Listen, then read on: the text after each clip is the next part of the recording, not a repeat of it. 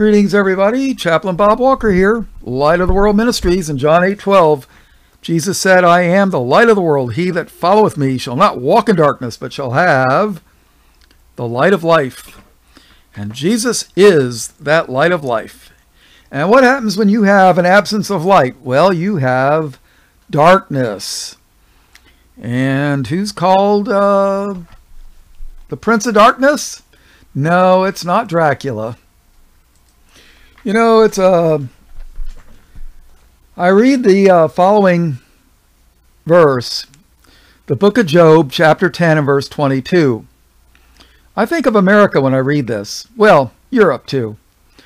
A land of darkness, as darkness itself, and of the shadow of death, without any order, and where the light is as darkness. Woo. Here's another good one, Proverbs 4:19. Proverbs was written by Solomon, the king, son of David, and uh, he was supposed to be the wisest man that ever lived, per the scriptures. The way of the wicked is as darkness. They know not at what they stumble. See, they stumble at God's word. I was actually considering naming my book uh, Days of Darkness. Isaiah 5:20 comes to mind. Woe unto them that call evil good. Boy, we have a lot of that now, huh? Pride festivals for those that do what the Lord calls an abomination. And if you don't know what I'm talking about, you could write me and I'll explain it in more detail. But uh, yeah, pride, you know, with the rainbow thingy. Woe unto them that call evil good and good evil, that put, that put darkness for light and light for darkness, that put bitter for sweet and sweet for bitter. But on a lighter note, Isaiah 9 2, the people that walked in darkness, that's our people, the people that have uh, that walked in darkness have seen a great light, the light of life, Jesus. They that dwell in the land of the shadow of death, spiritual death, upon them hath the light shined. Oh yeah. Uh, the uh, modern church world will tell you that the day of the Lord is the second coming of Christ for judgment upon the wicked. And then the demon denominational world will tell you that the day of Christ is the pre trib rapture that happens before the tribulation. No, it's not. The day of the Lord and the day of uh, Christ is the same event. It's the day of the Lord if you're not in Christ, but it's the day of Christ if you are in the Lord. It will be a day of salvation. But you are, if those who are not in Christ, it will be a day of judgment and destruction. But by saying that the day of the Lord and the day of Christ is two separate events, are they not denying that Jesus Christ is Lord? By saying the day of the Lord and the day of Christ is two different things? I think so. But the uh, the book of Joel, chapter 2 and verse 31, records the following The sun shall be turned into darkness, and the moon into blood, before the great and the terrible day of the Lord come. Now, is that in the uh, New Testament? Yeah, I think so. In the book of Acts 2 and verse 20, it is affirmed, the sun shall be turned into darkness, and the moon into blood before the great and notable day of the Lord come. In Revelation 6 and verse 12,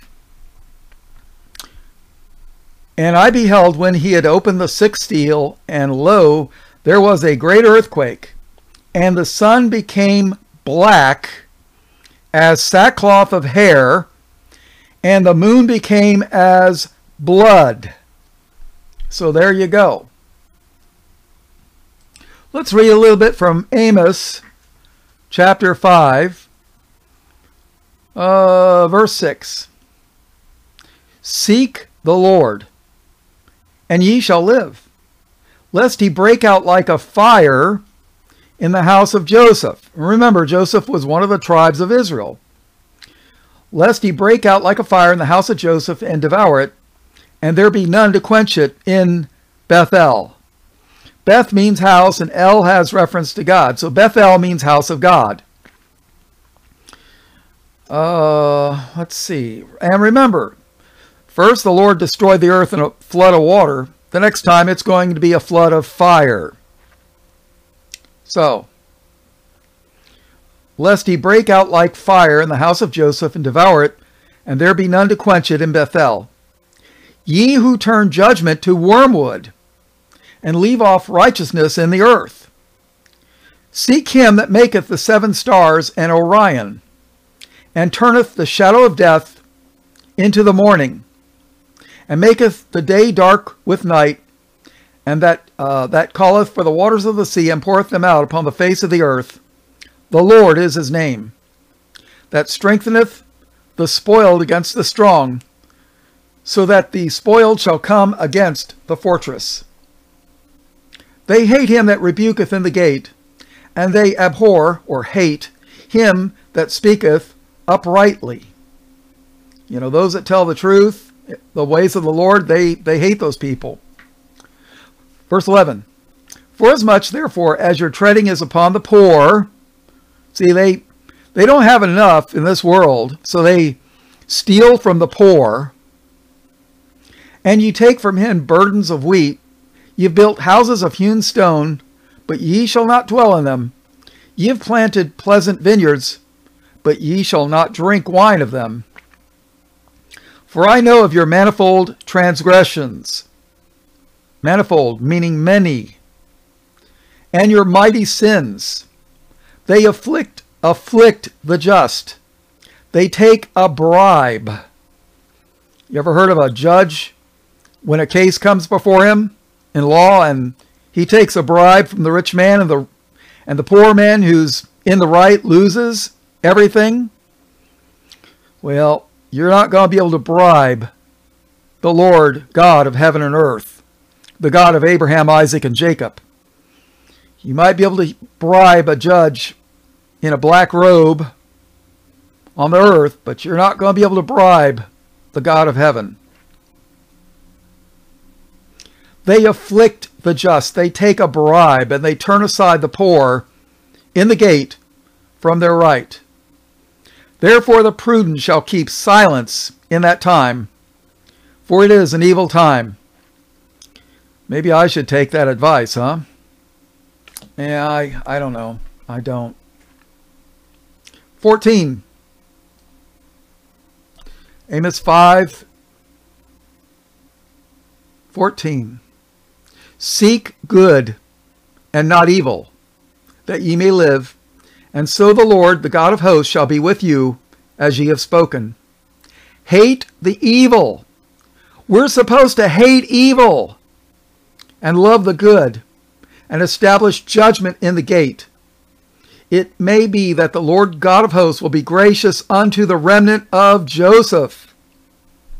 Therefore, the Lord, the God of hosts, the Lord saith thus Wailing shall be in all streets, and they shall say in all the highways, Alas, alas!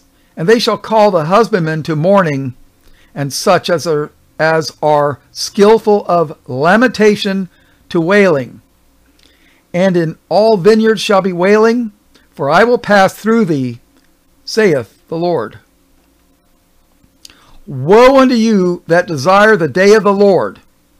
To what end is it for you? The day of the Lord is darkness and not light. See, the day of the Lord is judgment upon the wicked people. Remember that.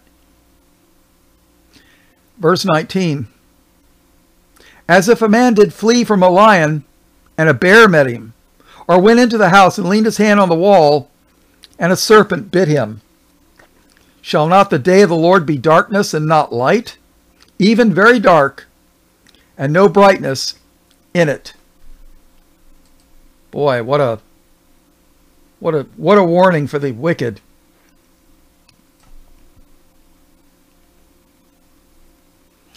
In Zephaniah, Z E P H A N I A H 115, that day, the day of the Lord, that, that day is a day of wrath, a day of trouble and distress, a day of wasteness and desolation, a day of darkness and gloominess, a day of clouds and thick darkness. But on a lighter note, in Matthew 4:16, the people which sat in darkness saw great light, Christ.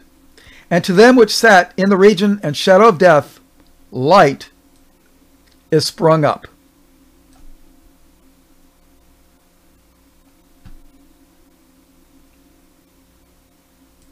In John 3:19, and this is the condemnation that light has come into the world, and men loved darkness rather than light because their deeds were evil. Hmm.